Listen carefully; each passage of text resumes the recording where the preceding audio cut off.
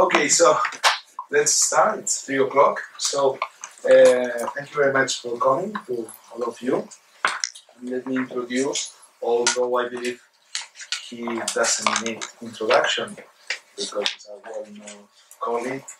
Uh, Luk Joossens uh, works from several decades on tobacco control, and I believe that uh, only a few words to first of all to acknowledge and to thank you, to thank him about uh, for coming to Barcelona.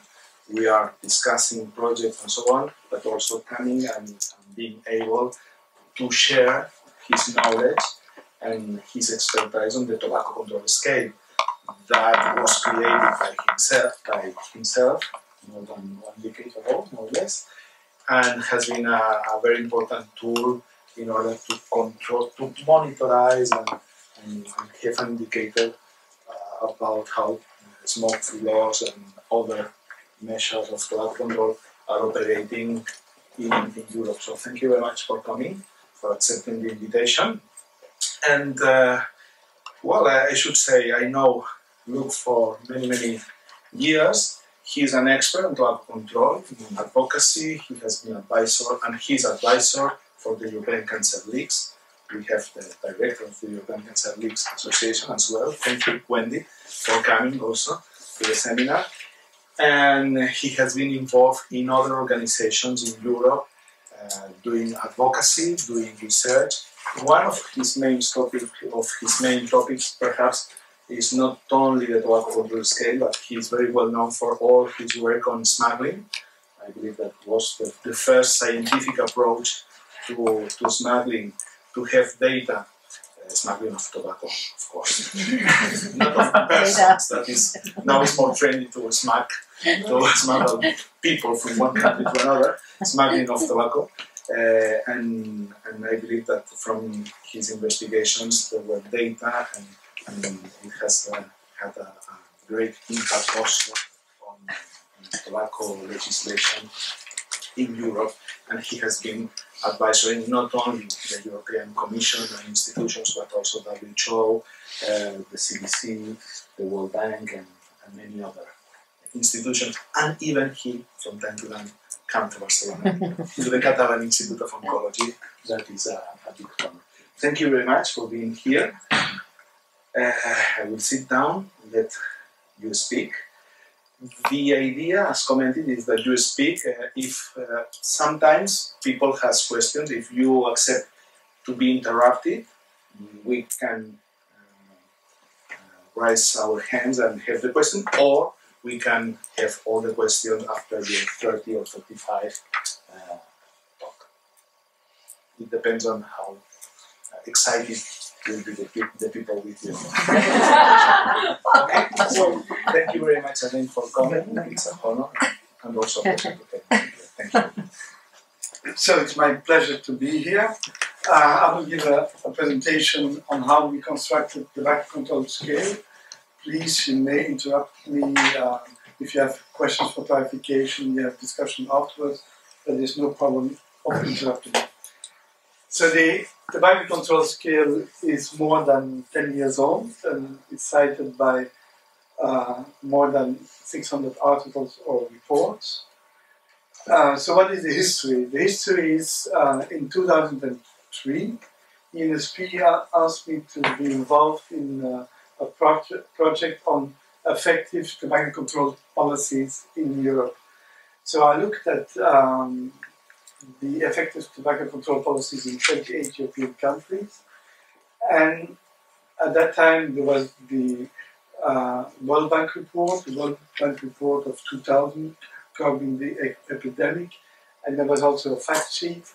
And um, based on literature, it was clear that six policies were the most effective to influence uh, um, tobacco consumption and prevalence the price, smoke-free legislation, media campaigns, advertising bans, health warnings, and smoking cessation reports. These are also the same um, policies which came up five years later with MPOWER, and which was become the policy of WHO, and you have to six proven policies to reverse the global tobacco epidemic. One is to monitor uh, smoking legislation, smoking cessation, uh, health warnings, um, advertising bans, and taxes.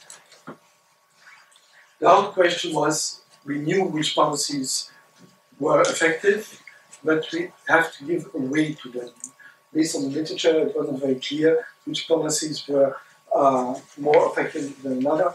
So we convened a group with uh, Ken um, a well-known economist from the US who worked for the World Bank, and then one, two, three, four, five, six, seven, eight, nine people um, from different parts of Europe to agree, first of all, on the weight of the different policies and how you give scores to different uh, within each policy. So we agreed after a long discussion that the most prominent um, policy would be prices, taxation, followed by smoke-free legislation, 22 points, tobacco control funding mainly for campaigns and media campaigns, advertising ban 30 points, smoking cessation 10 points, and labeling 10 points. And so we um, we developed for the first time um, the a scoring system in 2000 based on the legislation of the 1st of January 2004 and we looked at the different policies. And we had um, also ranking. And at that time in 2004 we presented its results in October 2004 Iceland was the number one. Luxembourg was the last one. And you may note that for instance Spain was on the bottom, and there was a lot of media attention on this uh, bad position of Spain. And suddenly, which I didn't realize, was that ranking is very important. People are obsessed by rankings. Uh, but it was not uh, our initial idea. It was to look at the bank control policies, but then we come up with the ranking, and everybody looks at the ranking. Uh, and they wanted not to be in the last place, you want to be number one. And then you compare with countries which are similar, which for us is, for Belgium, we look at the Netherlands, we want to be better than the Netherlands, so the, the Dutch. um, I guess you will look at, at Portugal, France, uh, uh, Italy, um, so you compare with, with similar countries. Um, we then I work together with Martin Raw. Martin Raw is um, a scientist, um, a real scientist, and I'm an activist and a, a, scientist, and he's probably a scientist and an activist. Uh, so I needed a real scientist. and um, um, we worked on this article, and uh, it took us a while to have it presented, to, to review, to, to validate it. But now it became a scientific tool. Um, we didn't say that we could predict prevalence, but we presented as a way to, to measure tobacco control policies and to stimulate countries to improve uh, their policy. Um, we had the, the different scores um, of different policies we changed a little bit uh, from the 2006 scores uh, in 2010. So the 30 points, initially we gave 15 points on uh, the price of Marlboro and the price of the most popular price category. And then we took account with affordability, with the purchasing power standard. Afterwards, we had a, a better tool, which is the weighted average price. And the weighted average price is everything which is paid by the smokers divided by the number uh, of cigarette packs and gives the average price of, uh, of a packet cigarette. So it's a, a clear uh, message, a clear standard for pricing, um, taking into account the purchasing power standards to correct with affordability. Um, then we had 22 points um, for smoking legislation, 10 points on um, smoking at workplace, and 8 points for smoking um, in bars and restaurants, and 4 for transport and public places. There are also 15 points for tobacco control spending, uh, 13 points for um, advertising ban. So, for instance, here, uh, two for advertising ban on television, uh, two for ban on display of tobacco products, products at point of uh, sales, one point of sales advertising. And then we had on health warnings. And in the first one, we didn't have um, points for plain packaging, but that we corrected in, in 2010. Uh, points for plain packaging, and for the moment, the, in the new edition, there will be two countries, uh, France and the UK. We will have four points for plain packaging, and four four countries which have adopted uh, plain packaging, but not from the 1st of January of, of this year. They will get their points later on. And then have a scoring system for uh, the treatment of uh, smoking cessation. So the how do we work in relation to prices? We have the uh, we calculate that if the weighted average price in an EU average is 10 euros, you get 30 points. And um, that means that Bulgaria receives 30 points if the price would be 4.60, Spain 9 euro 10, Ireland 14.50, Norway 16 euro 90, and Luxembourg even 27.10. Um, so that's um, we take account with the uh, affordability.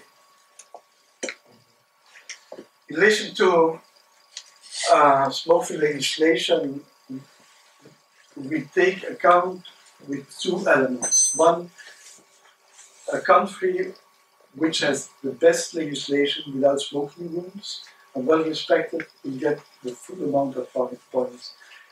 If it's a, um, a country where the legislation has some exceptions, which well respected, then it gets some points but less. So we take account with uh, legislation which is excellent and then the enforcement. But the, the, enforcement of legislation was a problem because if you ask people is the legislation well implemented, sometimes you get uh, reverse uh, answers. So now we're using the Eurobarometer survey, and there, for instance, on on on bars, they asked the last time you visit the bar, were people smoking inside um, last six months, and so if the percentage is below 25%, it's okay. If it's not, if it's more than 25%, seen, uh, it's not okay, then they get less points. There is, of course, a problem if the percentage is 23% or 27%. Uh, the Eurobarometer survey is only done with 1,000 people. The sample size is, is limited and sometimes they vary and they don't reflect automatically so precise what happened in the country. Um, so here we explain uh, that we take account for the enforcement with the Eurobarometer survey. And you see a, a, big difference according to the country. Um, so Greece, for instance, has perfect smoke-free legislation, but it's not respected. So they, they get uh, for um, smoking at at workplace only two points on ten. This was then um, the publication in tobacco control, and we saw that um, the we had four leading countries, and these leading countries have been always been there: Ireland, UK, Norway, and Iceland. And for instance, you could um, very well see the difference between UK and Ireland was only one point. but you see that on on price they get 30 points, and on smoking ban only one of uh, 22. They had no smoking ban. So if they wanted to improve the score, they have to do something on their smoke-free legislation. That made also the strength of the tobacco control scale that with one table you can see the ranking, but you can also see in which policy you're doing well or not well. Um, so we had the different rankings over the year with the postcards, um, which um, so you, you notice, for instance, there in 2005, Spain was in red, and suddenly, uh, two years later, it was no red. Um, we had the, the uh, ranking comparison between 2010 and 2007. Um, in 2013, we took account with the legislation on the 1st of January 2014, cigarette prices the 1st of July 2013, and tobacco control budget of 2012. And here again, um, you can see where the countries uh, work well. And in 2013, for instance, Turkey was on the fifth place, um, in 2010 on the fourth place, and that was because they had introduced smoke-free legislation, advertising ban, and increased their, their, tax, their taxes. And Spain was uh, now on the seventh. So you can see also um, the evolution of the ranking um, within the years, within countries. If you look, for instance, at my own country, Belgium, it was 19 in 2004, in 8 in 2007, and then 13. And in 2007, we, we had our best health minister. Um, the same for the Netherlands, had the best score in 2004, and in 2004 they had their best health minister. So indirectly you can see the political activity based on, on, on the ranking. So the next result will be presented um, in Porto on the 23rd of March to the uh, president of Porto, uh, president of Porto, and perhaps with your queen. I'm not sure, but she may come. so the, the purpose of the climate control scale is um, to introduce a new level of systematization in the scoring of tobacco control policies at country level and to encourage comparison between countries and motivation to strengthen these policies. If we look, for instance, at the countries which have introduced uh, plain packaging or will inter- or interested in introduce plain packaging, there are most of them are all in the top 10. Uh, you see that the leading countries um, are really interested to improve their scores and to improve their policies. So, what are some comments on on the different um, categories to indicate for different policies? We believe that the weighted average price is a good indicator of um, of price policy because it's the overall that smokers spend on uh, on cigarette packs in a specific country. The purchasing power standards are sometimes problematic for countries like Luxembourg, which it seems to be a little bit too high, 271, compared to the EU average 100. Um, if you go outside the EU, they don't have weighted average price, then we take the price of a pack of Marlboro less 10%, so it's uh, not completely the same. One problem one the most problem is that roll tobacco is not included because there is no standard. We go to the tables in the EU for cigarette prices, we take the table and use them. There are no tables for roll tobacco. We don't have a Marlboro brand uh, in all things, and the rate of roll-on tobacco is not the same in all countries. What we uh, notice also that the exchange rates influence scores and makes trends difficult. Um, at the latest scoring, uh, for instance, Ukraine will lose nine, nine points because they have the war and the uh, has devaluated. Um, so the comparison, we looked also at the exchange rate of the British pound on the 22nd of June and the 30th of June, one week after the Brexit, and the, uh, the value of the pound decreased by 10%, which is reflected in, in the prices. Uh, this uh, comparison is good to compare countries, but if you look at the trends, um, you have you may have uh, have a problem. And the maximum level of points um, now we determine at 10 euros. Uh, well, we have to put it somewhere. Could be even 9 euros, could be 11 euros, could be the maximum point. So that's in a certain way arbitrary. Comments on smoke-free uh, legislation. Um, so the enforcement is measured by the Eurobarometer survey and the sample size is, is uh, low. Out, countries outside the EU don't have the Eurobarometer survey, so it's difficult to judge what really happened in Serbia or things like that. Um, at the beginning, we made a difference between uh, different um, the smoking rooms. Different, very difficult to make smoking rooms and normal smoking room. I, I think it doesn't make sense to make this difference uh, between different sizes of smoking rooms. Smoking rooms are not very good. Uh, and we, if you look at impact of smoke-free uh, legislation score, you should only look at enforced, whether it's enforced or not. But we take account also uh, with good legislation because we want to promote good legislation. So this makes it more difficult um, to look at the effect of, of a score on, on prevalence.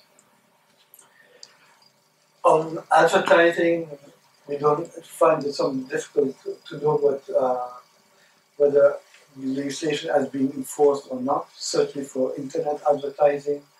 Um, sometimes the answers of the respondents are not always reliable and you have to check the information when they are answering.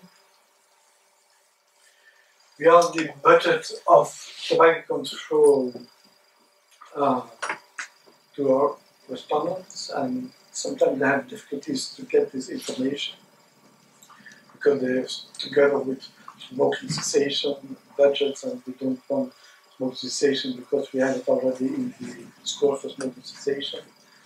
Uh, we have two countries which have high scores, Iceland and Switzerland, and they have a lot of money for projects, but actually we don't know whether this um, money is good, well used, so we should have a measurement of, of this spending where it's good. Uh, and we have 15 points, but perhaps this 15 points is too high. Um, some general comments. Um, some respondents want to have high score for their countries, some want low, low scores. Uh, we want only the fair results what happened in their countries. Uh, some respondents never reply. Uh, we sent five emails, six emails. This time we have two out of the 35 we don't reply. And sometimes you need to verify by other sources such as the database of the EU, WHO Europe, MPOWER, FCTC uh, database.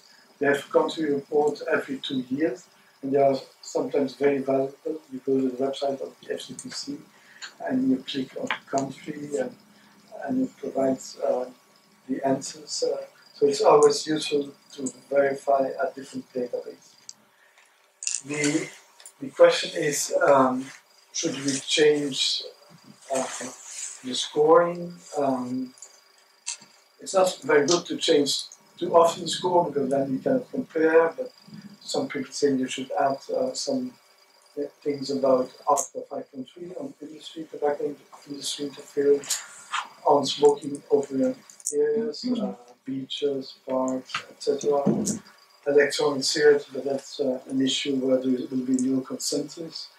Um, roll your own tobacco or measures against illicit trade, for instance, the countries who, who have ratified the WHO FCTC protocol on this trade. We had initially uh, 28 countries, now 35. Um, how many in the future? We will probably review the scoring uh, in 2019 to prevent new result in 2020.